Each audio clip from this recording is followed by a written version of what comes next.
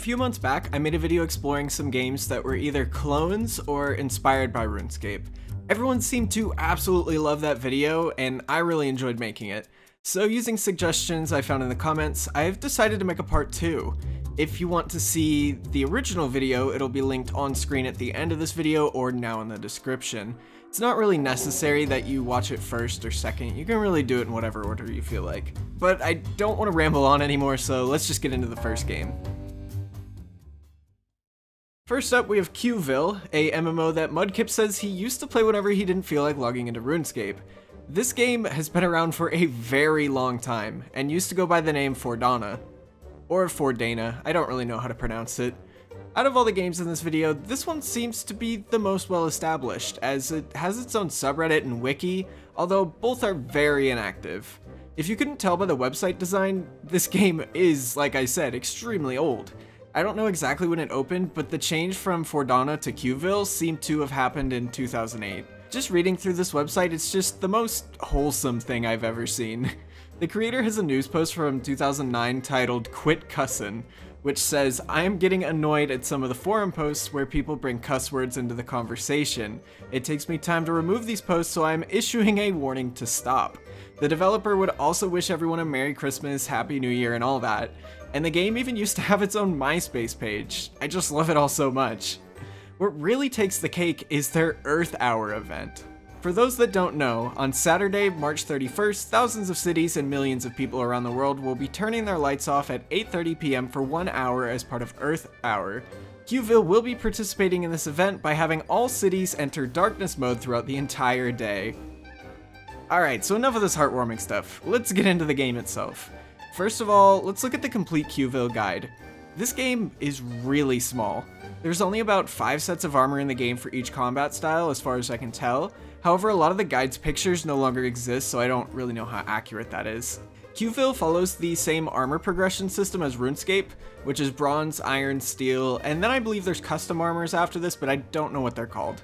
It has similar skills like mining, smithing, cooking, arson, which is pretty much just fire making renamed, fishing, and so on. The first thing you can fish in the game is, ironically, a crab. Actually, looking at some of the screenshots, this game is just downright adorable. Like, come on, one of the maps is literally a heart. So this guy pours his heart out making this massive guide to help new players, and the first response is, cool dude, and in his signature, it's a clan banner. Like, if this is an old RuneScape, I really don't know what is.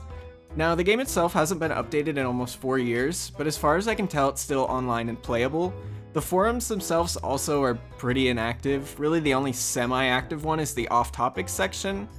So yeah, chances are if you do decide to give this game a shot, you're not really going to run into anyone else unless they've also watched this video. Now, if you thought Qville was adorable, wait till you see Tale of Toast. It's an MMO that got released sometime early last year and was developed by only two people. So first of all, the developers have talked about how much RuneScape inspired their creation of this game, and when you go looking for it, you can absolutely tell. First of all, when you create a character, you're simply just a human. Just like RuneScape, there's no set classes. The game has a variety of crafting and gathering skills, for example alchemy, blacksmithing, carpentry, mining, botany, fishing, and so on. The game prides itself on having a variety of high quality quests rather than a bunch of standard kill 5 goblins type quests.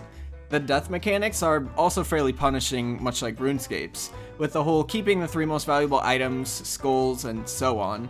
Not to mention, the game doesn't have an auction house or grand exchange, so much like the old days of RuneScape, everything is player to player, so you pretty much have to interact with other people to get around this game. So the game itself is adorable, and what the developers promise seems really good. However, the reviews are just kinda average. The main gripe seems to be with the controls and that everything in it is just too slow. Not grindy, just slow, like walking, regen speed, and so on. Some players also claim there's not much of a story and the quests themselves are not what the developers say they are and are just too generic. So, from what I'm seeing, it seems to have a good foundation, but it's a little too early for early access, I guess. This game could be something really good. It's just, it needs a little bit more polish. But who knows, based on the reviews, maybe you'll like it, maybe you'll hate it.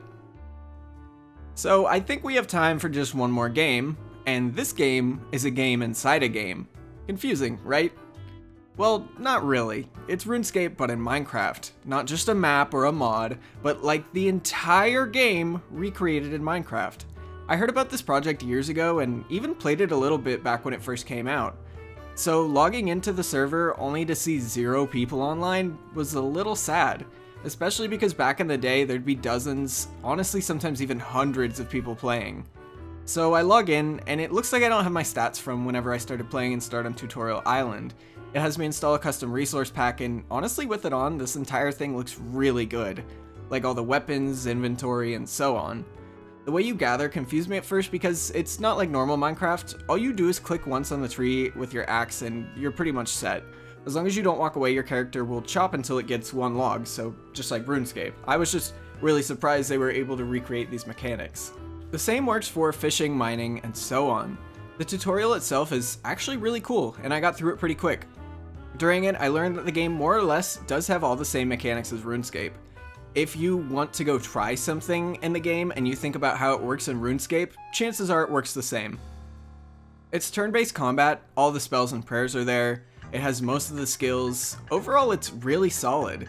Things like farming are weird because you train pretty much by just hitting plants, but it's about as accurate as a Minecraft version of RuneScape can get. I was a little low on health when I got to Tutorial Island as well because the chickens that you actually have to fight hit really hard. So I tested the death system and it's, it's actually really cool because you get this little gravestone and everything and you walk up to it and instantly you have your stuff back.